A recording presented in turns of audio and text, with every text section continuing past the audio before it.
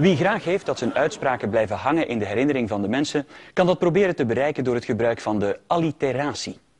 De rebelse Reinaard. Populaire Pol. Een poespas van premies. Paracommando's patrouilleren. Viervoetige vrienden. Vrolijke vrijgezellen. Vurige vingers. Bouwlustige Belgen. Innovatieve initiatieven. Was het wassende water. Nieserige motregen. Of gladde grasmatten. Dus die doorzettende dooi. Dus dat duurt... En ik vind het nogal kras, de meneer Van Krunkels vindt wetenswillens. Het frauduleuze faillissement. De Stalinistische staat. De Duitse Duisburg. De stervende zwarte zwaan. Wat een weldaad zou het niet zijn voor de tv-journaals als ze een vaste alliterator in dienst hadden. Rob.